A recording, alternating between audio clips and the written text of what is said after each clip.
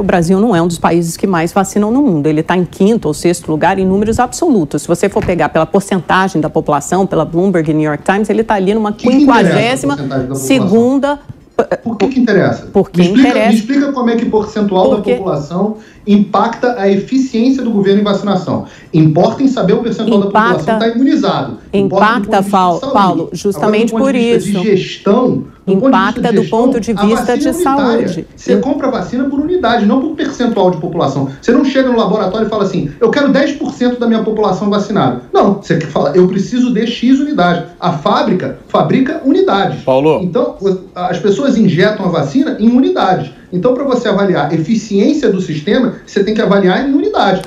Percentual okay. da população, não. Paulo, Ilhas Seychelles, Ilhas Seychelles é o primeiro do mundo. O que, que interessa? Vacinou? O Bolsonaro nunca adotou a vacina como política de governo. Ele veio a reboque. Ele adotou, fez uma inflexão no, no discurso em relação à vacina, quando ele viu que a maior parte da população brasileira Perfeito. queria se vacinar. O Bolsonaro não adotou vacina como política de governo. Isso é opinião, não é fato. Fato. O Brasil tem quase 17 milhões de vacinados. E aí, se você quer analisar política de governo e eficiência, você tem que analisar os números. Ou então, a gente vai ter que partir para o ridículo de dizer que as Ilhas Seychelles, com 94 mil vacinas, que são o segundo país que mais vacinou no mundo, são mais eficientes que o Brasil. A gente vai ter que dizer que Mônaco, com 18 mil vacinas, é mais eficiente que o Brasil com 17 milhões. As Ilhas Maldivas, Malta, pelo amor de Deus, gente, quando você vai comprar vacina, você compra em unidade. Você quer analisar a eficiência da política de governo, se o país está vacinando ou não, você analisa número total de vacinas. E o Brasil está dando um show. Eu acho uma pena que o brasileiro não esteja vendo e não esteja orgulhoso disso. Porque o Brasil são 17 milhões de vacinas. Quando você pega a Alemanha, a Alemanha tem 11 milhões de vacinas. O Brasil vacinou ontem quase 600 mil pessoas.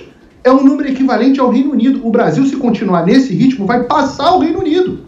Então, pega a soma dos países europeus, você está falando de países desenvolvidos, polos científicos, países que estão à frente do Brasil em praticamente tudo relacionado à ciência.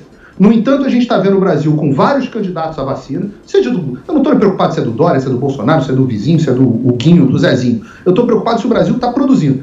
A, além disso, o número de vacinas aplicadas e a variedade de vacinas que você vai ter dentro do Brasil. Então, desculpa, separa a opinião dos fatos. Quando eles começarem a brigar, fica com os fatos.